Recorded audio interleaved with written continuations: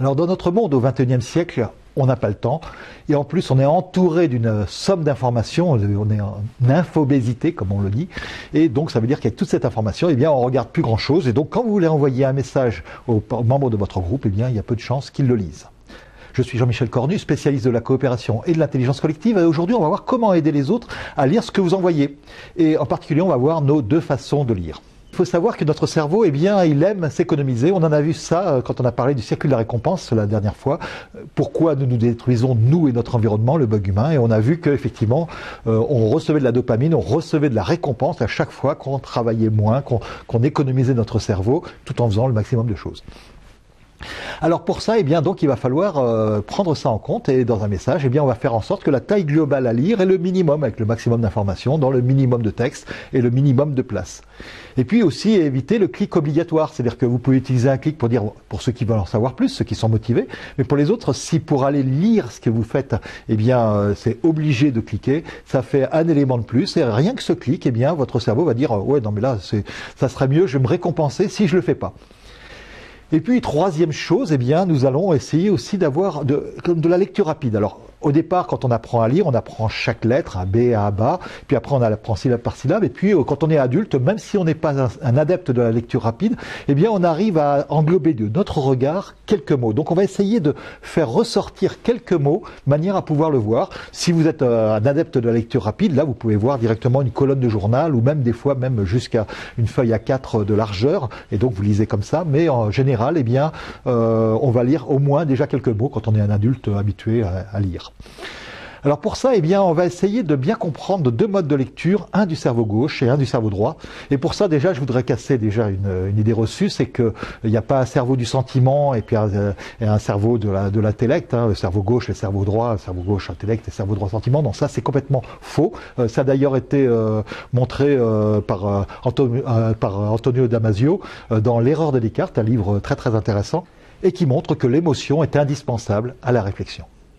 Alors, en fait, euh, la séparation cerveau gauche cerveau droite est plutôt c'est en partie parce que c'est pas tout à fait vrai et puis en plus c'est des fois inversé.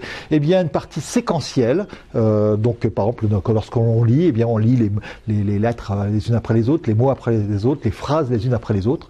Et puis une version plutôt visio-spatiale, c'est la façon dont vous lisez d'ailleurs une carte routière très différente de des différentes façons. Et on va regarder un peu les deux. Alors, pour la partie séquentielle, lorsque vous envoyez un message, eh bien, on va avoir trois choses à faire. La première, c'est d'avoir un objet court et précis, parce que finalement, eh bien, on va permettre différents niveaux de lecture.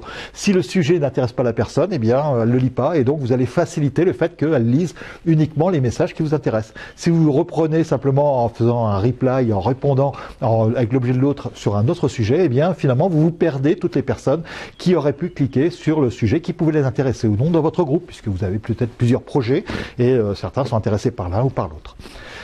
Et puis, votre message, eh bien, il doit être euh, court, un ou deux paragraphes très courts, et on va mettre quelques éléments en gras pour euh, aider à lire, comme on le disait, avec des, éléments de mots. D'ailleurs, en fait, plutôt que de mettre simplement en gras les mots importants, eh bien, vous allez faire comme si on pouvait lire simplement les parties grasses et, que, comprendre quand même. Alors, c'est un peu moins bien formulé, mais malgré tout, eh bien, on va essayer d'avoir un texte avec des parties où on pourrait lire tout, ou alors, eh bien, pour ceux qui sont un peu plus pressés, qui sont moins motivés, et donc euh, où le circuit de la récompense va s'activer si, parce que j'ai pas de motivation, je fais pas grand chose, eh bien, euh, ils peuvent lire simplement les éléments gras, parce que finalement notre cerveau, sur des choses très courtes, eh bien, il va les englober sans effort. Et puis, vous pouvez aussi ajouter un lien pour ceux qui veulent en savoir plus, pour ceux qui sont les plus motivés. Et la troisième chose, eh bien, c'est que malgré tout, euh, malgré ce paragraphe court, eh bien, on va quand même rajouter trois petits mots de politesse qui sont quand même importants parce que justement, eh bien, ça joue de la convivialité, du fait que je me sens euh, accepté dans le groupe. Il y a le bonjour. Alors, euh, il y a des gens qui disent, bah, pour aller vite, moi, je mets pas de bonjour, je mets pas d'amicalement, je mets pas de signature. Eh bien, c'est un bon moyen pour dire que vous fichez des gens. Non, non, au contraire, mettez quand même ces choses-là. Le principal, c'est que essayez de faire en sorte que ça tienne sur un écran. Alors la difficulté, c'est que la plupart des gens ne lisent plus sur un écran d'ordinateur, mais sur un écran de téléphone. Et donc ça milite plutôt pour avoir un paragraphe avec le maximum d'informations. La prochaine étape de notre projet est telle chose. Et pour ça, eh bien, je vous renvoie d'ailleurs un ancien truc d'animation, comment envoyer un message court à son groupe sans lui pomper l'air. Et puis la deuxième façon, c'est la cartographie. Alors, c'est intéressant, en particulier dans les débats en intelligence collective. On en a parlé quand on a parlé de comment organiser un débat en intelligence collective. Et le dernier que l'on a fait et qui vient de se terminer, eh bien, a rassemblé déjà plus de 500 idées et il s'agit de montrer le groupe au groupe. Alors cette fois, on ne peut pas faire rentrer sur un paragraphe 500 idées. Comment faire? Et en plus, ça se complique parce que si jamais je veux faire euh, du mind mapping, eh bien, il faudra que je clique pour aller euh, sur la, le mind mapping lui-même. il faut avoir le bon logiciel, etc. Ou alors sur, la, sur le lien. Et effectivement, comme on le disait tout à l'heure, j'ai perdu tout le monde. Alors, il faudrait une carte des idées qui soit directement dans le message. Et ça, ben, ça nécessite effectivement de faire du texte plutôt que des, des, dessins, ce qui rend les choses plus compliquées. Mais on a quand même une petite astuce là-dessus, c'est que, eh bien, on a des listes à points qui nous permettent de faire ça. Alors, pour arriver à mettre 500 idées avec non pas tout le monde qui va lire toutes les idées, parce que je suis sûr que dans les cartes routières que vous avez, vous avez regardé certains éléments, mais pas tout, pour aider les gens à utiliser leur cerveau droit visuo-spatial, eh bien vous allez faire déjà un message d'introduction court qui va donner envie de lire la, suite, enfin ou du moins de se promener dans la suite, une séparation pour dire c'est la fin du mail, et votre carte des idées. Et cette carte, eh bien, elle va se baser sur notre façon, nous, de naviguer dans une carte, que ce soit sur une carte de territoire comme OpenStreetMap ou n'importe quel euh, logiciel en ligne qui permet de faire ça, ou une carte d'ailleurs euh, sous forme de papier, eh bien, on va vraiment euh, faire trois choses pour faciliter le fait non plus de lire cette fois, puisque là, on essaie de faire lire le maximum du mail, comme on l'a vu tout à l'heure, mais par contre, sur les, les 500 idées, on va plutôt essayer de pousser les gens à naviguer et arriver aux idées qui les intéressent pour en compléter, pour en rajouter d'autres.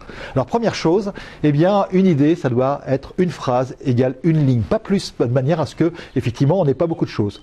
Et puis on va mettre quelques mots en évidence parce que même une ligne, simplement même sur un ordinateur par exemple, eh bien c'est trop long à lire lorsqu'on n'est pas habitué à la lecture rapide.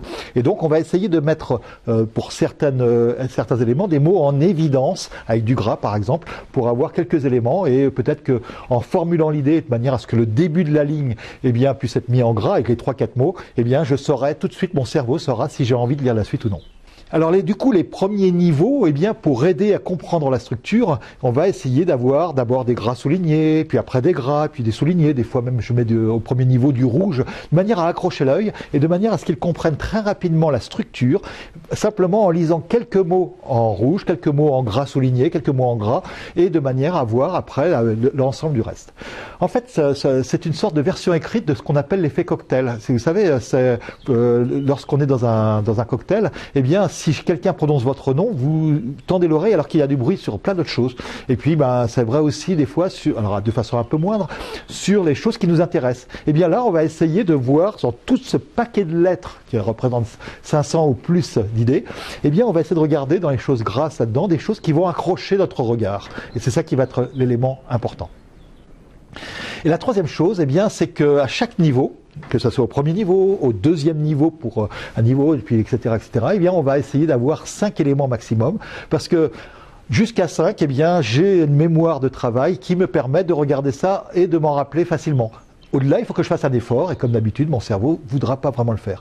Donc euh, finalement, eh bien, on va essayer de reconstituer euh, cette structure avec 5 maximum. Alors ça peut être entre 5 et 9 normalement suivant les différents types de personnes, mais je vous conseille 5 de manière à pouvoir toucher tout le monde. Et puis au XXIe siècle, notre esprit est un petit peu encombré, donc on a intérêt à avoir 5 éléments maximum comme sous-niveau d'un niveau. Et puis ces sous-sous-niveaux, eh bien eux-mêmes doivent être limités à 5, etc. Alors, à vous de jouer. Essayez d'écrire déjà un message court de ce que vous voudriez euh, présenter, par exemple, à un groupe, simplement pour vous entraîner. Essayez de voir si ça tient sur un paragraphe, si vous avez les petits mots de, euh, de, bienveillance euh, malgré tout, et puis éventuellement un petit lien, et que dedans vous aviez tout, et n'oubliez pas évidemment l'objet. Et puis, même chose, essayez de voir avec plein de choses, par exemple plein d'idées. Peut-être que si vous avez une charte, par exemple, que personne n'a lu dans votre groupe probablement, eh bien, est-ce que vous pourriez la mettre sous une forme d'ensemble d'idées intéressantes? Parce que peut-être qu'il y a plein de choses intéressantes. Ou alors, euh, peut-être tout ce que vous avez fait dans votre groupe. Eh bien, essayez de voir comment ces types de cartes peuvent euh, permettre aux gens de naviguer dedans sans avoir besoin de les lire complètement. Et puis comme d'habitude, commentez, abonnez-vous avec la petite cloche pour être prévenu des prochaines vidéos. Likez et vous pouvez télécharger le guide de l'animateur une heure par semaine pour animer une grande communauté. Et je vous donne rendez-vous la semaine prochaine pour un nouveau truc d'animation.